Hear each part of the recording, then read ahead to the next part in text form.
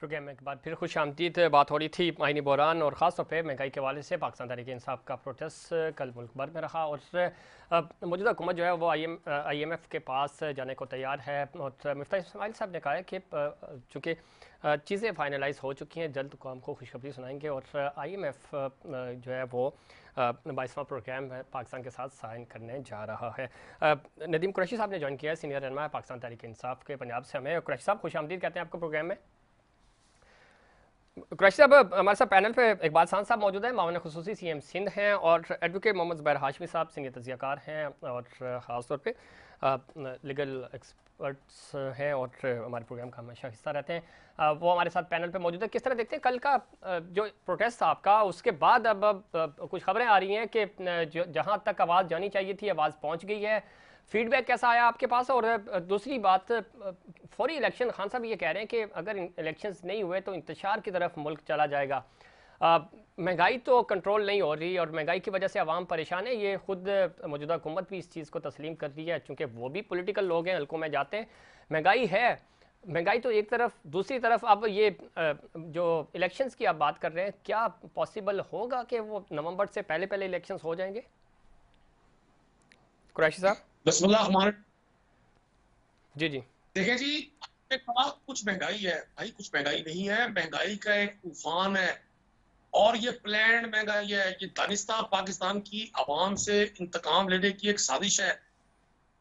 कल आज से चंद माह पहले एक महँगाई बाहर चुका था इस्लामाबाद की तरफ़। मरियम और हमजा साहब उस पर निकले थे कंपेन करते हुए। और आप क्रिश्चन से आए थे बिलावल साहब। एक सौ पच्चीस रुपए लीटर पेट्रोल था उस वक्त पाकिस्तान में। आज कमोबेश अढ़ाई सौ रुपए के करीब पहुँचने वाला है पेट्रोल। ये बड़े अपने आप को मीशत का चैंपियन कहते थे। आज के जो हुक्मरान, इन्होंने साढ़े तीन साल जो गड़ा खोदा था, ये उसमें गिरे हैं। हम जब इनको कहते थे कि इंटरनेशनली इन्फ्लेशन बढ़ रही है, ये प्रोपगेट करते थे चीज़ों को। अब ये खुद आए हैं, जिस रोज आठ मार्च को पाकिस्तान तहरीक इंसाफ की इलेक्टेड गवर्नमेंट के खिलाफ इन्होंने नो कॉन्फिडेंस मूव टेबल की असेंबली में पाकिस्तान में डॉलर का रेट एक सौ सतहत्तर रुपए था। आज टू हंड्रेड टेन में भी ओपन मार्केट में डॉलर नहीं मिल रहा। ये सारी गेम प्लान गेम वर्क और सारा प्लान आउट सिर्फ़ और सिर्फ़ अपने खिलाफ, इस हुकूमत के खिलाफ जो मनी लॉन्ड्रिंग के केसेस थे, जो माली बदलवानी के केसेस थे, जो अरबा डॉलर की पाकिस्तान से मुंतकली थी बैरून मुल्क, ये एफ़ आई ए नैब के कवानीन को तब्दील करने की एक गेम थी।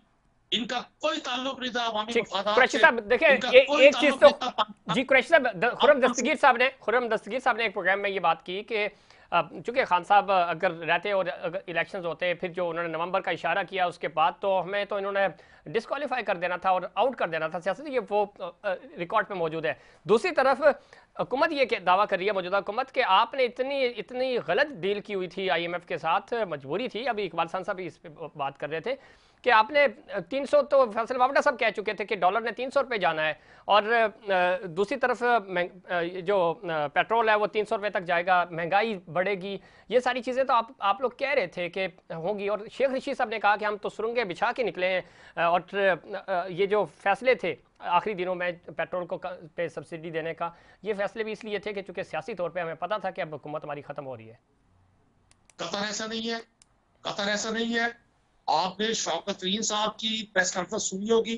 उन्होंने बताया था जो हमने जो टारगेटेड सब्सिडी दी थी जी जी। वो जो टैक्स रेवेन्यू की कलेक्शन थी जो हमारे टारगेट से बढ़ा था हमने वहाँ से ये टैक्स ये सब्सिडी पेट्रोल पे दी थी। ये बातें करना अब ये फरमाते हैं कि जी हमने आईएमएफ के साथ एग्रीमेंट किया क्या पाकिस्तान में आईएमएफ को पाकिस्तान तरीके इंसाफ भी गवर्नमेंट ने मुतारफ करवाया था? भाई, ये जो आज ये जो ये जो पोलिटिकल दानिश्वर, ये पाकिस्तान की सियासत के अरस्तू जो बैठे हुए हैं आज गवर्नमेंट में, जिन्होंने पैंतीस, चालीस साल हुक्मरानी की मुल्क में, इनसे साढ़े तीन साल की अपोजिशन बर्दाश्त नहीं हुई। इन्होंने गैर मुल्की आकाओं को भी पाँव पकड़े और इस मुल्क में मौजूद ताकतवर लोगों को भी मजबूर किया और इन्होंने एक चलती हुई गवर्नमेंट को, जिसको पाकिस्तान की आवाज़ में पसंद किया था, और उस वक्त ये कहा करते थे, ये जाली असम्बली है। ये आरोज के नतीजे में बनने वाली असम्बली है। हम इस असम्बली को नहीं मानते। उसी असम्बली के कुछ लो, लोगों को उनकी जमीर फरोशी करके उनके उनसे जमीर फरोशी करवा के उनको अपने साथ मिलाकर अपोजिशन लीडर बना दिया। पंजाब में 25 लोगों के जमीर खरीदे पंजाब में गवर्नमेंट गिरा दी। तो ये सारी बातें पाकिस्तानी कौम देख रही है। अगर तरीके इंसाफ ने कहीं कोई जालमाना एग्रीमेंट आईएमएफ के सामने किया हुआ था तो इन्होंने अभी एक प्रोटेस्ट में इमरान खान के खिलाफ जो सबक वजी अजम है, मुल्क के एक पाकिस्तान की सबसे पॉपुलर पार्टी के लीडर है। चौदह एफ़ आई आर सिर्फ़ इस्लामाबाद के मुख्तलि थानों में करवाई है। इन मुंतकमिल मिजाज लोगों ने जो अपनी करप्शन की एफ़ आई आर पर चीखे मारा करते थे तो ये ले उस आई एम एफ़ एग्रीमेंट को पब्लिक करें। हमारे खिलाफ जाए ठीक है। कुरैशी साहब लाइन पे कुरैशी साहब लाइन पे ये इकबाल खान साहब का पॉइंट ऑफ़ व्यू लेता हूँ। इकबाल खान साहब गुफ्तु आप सुन रहे हैं। कुरैशी साहब ये कह रहे हैं कि एक तो ये ये जिस असम्बली को आप जाली असेंबली कहते थे बल्कि ना सिर्फ़ जाली आप कहते थे कि ये सिलेक्टर्स की असेंबली सिलेक्टेड है कि लेके आया इनको। उसी असेंबली का आप हिस्सा बने ठीक है आइनी तौर पे बने इसमें कोई शक नहीं। लेकिन क्या ही अच्छा होता कि फ्रेश मैंडेट लेके आप आते नंबर वन नंबर टू वो ये कह रहे हैं कि आप तो तजर्बेकार थे जो हम पहले बात कर चुके हैं चीज़ें यानी आपने सिर्फ़ अपने केसेस माफ़ कराने थे इसलिए हुकूमत ली है और आपने उसी तरह की अपोजिशन भी अपने साथ बिठाई हुई है। सान साहब। अच्छा मैंने खामोशी से सबको सुना ना मैं चाहूँगा मुझे भी खामोशी से एक मिनट दे दीजिएगा। खामोशी भी। देखिए इसमें दो तीन चीज़ें इन्होंने मिक्स की है। ठीक है इन्होंने कहा जी कि ये सिलेक्टेड असम्बलियों थे आपको याद होगा कि हमने कभी भी असम्बली को सिलेक्टेड नहीं कहा था हमने वज़ीर आज़म को सिलेक्ट कहा था। हमने शाह वज़ीर आज़म को सिलेक्ट कहा सिलेक्टेड कहा। ठीक है? अच्छा अब दो तीन साल से अब जो मौजूदा हुकूमत आई है वो एक आईनी तरीके से आई है वो गैर आईनी तरीके से नहीं आई। कोई भी इसको साबित नहीं कर सकता कि ये गैर आईनी तरीका था। ठीक है? तो अगर जो आईनी तरीके से एक अमल हुआ है जिससे जिसको आपने गैर आईनी बनाने की पूरी कोशिश की पंजाब में आज तक ये ड्रामा लगा हुआ है। सदर में भी ड्रामा इन्होंने करने की पूरी कोशिश की लेकिन आखिर में जब सुप्रीम कोर्ट ने सारे मामले को सीरियस लिया तो इन्होंने इनको जाना पड़ गया। जब इनको जाना पड़ गया तो उन्होंने एक बयानिया सेट करने की कोशिश की जाने से पहले कि जी अमेरिका के साथ। चले उसको भी छोड़ दें। ये भी मान लेते हैं जनाब कि जी पीटीआई जो है एक मिनट के लिए कि जनाब अभी एहतजाजी सिलसिले में है और एहतजाज कर रही है तो उनको एहतजाज का राइट है पूरे पाकिस्तान में एहतजाज भी कर रहे हैं। यहाँ पर समझने की ज़रूरत यह है मेरे भाई कि जब ये कहते हैं कि ये मौजूदा हुकूमत है बड़ी समझदार है बड़ी अक्लमंद है तो मैं कतई तौर पर यह नहीं कहता कि खुदा ना खासा गलतियाँ किसी से नहीं होती। बात यह है कि अभी मौजूदा जो हुकूमत आई है इस, इस, इसको जो निज़ाम मिला है उसको दुरुस्त करने के लिए मस्ता इस्माइल को अपने दो तीन पास सुनाऊँगा इंशाल्लाह तीन चार महीने में हम चीज़ें कंट्रोल कर लेंगे। आप देखिएगा जब आप आई एम से हमारा माहिदा साइन हो जाएगा उस माहे के बाद मुल्क में सूरत थोड़ी डिफरेंट हो जाएगी। सेटअप से जब हम मुकम्मल तौर पर निकल जाएँगे अक्टूबर तक का टाइम है हमारे पास और उसके बाद भी आपको पता है पूरी दुनिया में हमारे पाकिस्तान के मामला बेहतर होना शुरू हो जाएँगे जो चार साल में नहीं हुए थे। ये बहुत सारी चीज़ें जो पॉजिटिव साइन भी है। नेगेटिव साइन बिल्कुल है इसमें कोई दो राय नहीं है। मैं बार बार कह रहा हूँ है। आप मैं हम सब इस महँगाई का सामना कर रहे हैं। मैं भी फैमिली वाला हूँ मेरे भी बच्चे हैं मेरी भी फैमिली है। लेकिन मैं कहने की बात यह कि खुदा ने खास्ता खुदा ने खास्ता कोई भी सियासी पार्टी गैर मारूफ फैसले कभी भी नहीं करती अपनी सियासत को तबाह कभी भी नहीं करती। खुदा की कसम इस वक्त हमारा मुल्क दाव पे लगा है और हम इस वक्त सियासत को नहीं देख रहे। ठीक है। अच्छी बात है अब मुल्क का सोचना चाहिए इकबाल साहब बिल्कुल ठीक कह रहे हैं। हाशमी साहब किस तरह देखते हैं? चूँकि डोमेन की बात हो रही थी इदारे अपने अपने डोमेन में अगर काम करें तो शायद ये नौबत भी ना आती और ना आए। लेकिन मसला ये है कि हम पावर शेयरिंग के लिए एक दूसरे से मदद लेते हैं। जब मदद लेते हैं तो उसका ज़ाहिर पे बैक तो आपको करना पड़ता है। तो कब तक हम इन चीज़ों में फंसते रहेंगे? जमहूरियत आगे बढ़ती हुई हमें उस तरह नज़र नहीं आ रही। फिर यही पॉलिटिकल जमातें जितनी भी हैं, वो सारी एक दूसरे को ब्लेम करते हैं। कोई प्राइम मिनिस्टर पाँच साल की मदद पूरी नहीं कर सका। पाँच साल असम्बलियाँ मुद्दत तो पूरी कर ली है। दो हज़ार आठ से लेकर आज तक जमहूरियत तो है बाज़ार लेकिन प्राइम मिनिस्टर मुद्दत नहीं पूरी कर पा रहा। माशी इस्तेकाम जुड़ा है आपके सियासी इस्तेकाम से। बांग्लादेश की अगर हम मिसाल लेते हैं तो उन्नीस सौ नब्बे के बाद दो ही हुकूमतें आई हैं वहाँ पे। तो चीज़ें हमें स्मूथ नज़र आ रही हैं, वो हमसे आगे निकल गए हैं, तरक्की कर गए हैं। बांग्लादेश हमसे पच्चीस साल छोटा है उसको पचास साल हुए हैं, हमें पचहत्तर साल हो गए लेकिन हम ग्रो करते हुए नज़र नहीं आ रहे चीज़ें कहाँ पेचीदगियाँ कहाँ हैं? मुश्किल कहाँ हैं? हाशमी साहब। बेसिकली बेसिकली ये जो हमारा पॉलिसी मेकिंग का फुकदान है ना, ये बेसिक रीज़न है।